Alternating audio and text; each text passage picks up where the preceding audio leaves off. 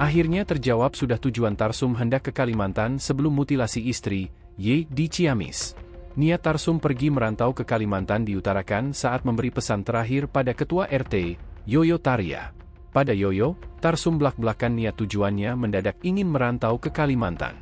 Diketahui, Tarsum merupakan juragan kambing di Dusun Sindang Jaya, Desa Cisontril, Kecamatan Rancah, Kabupaten Ciamis.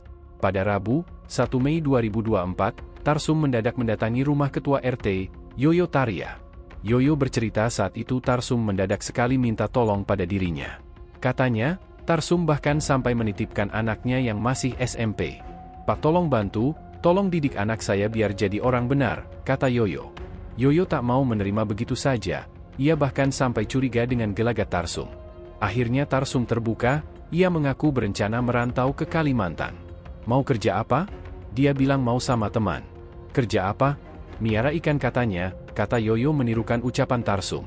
Padahal selama ini Tarsum berprofesi sebagai juragan kambing dan sapi di kampung tersebut. Menurut Yoyo, gelagat Tarsum sangat tak biasa. Pasalnya selama ini Tarsum sangat jarang pergi jauh. Kepada Yoyo, Tarsum mengaku tak memiliki masalah apa pun, termasuk dengan istrinya Y.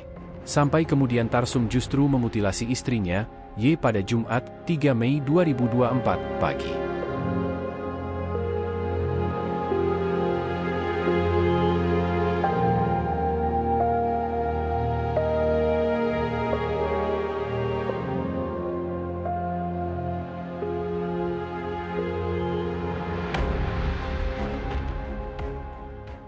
Download Tribun X sekarang, menghadirkan lokal menjadi Indonesia.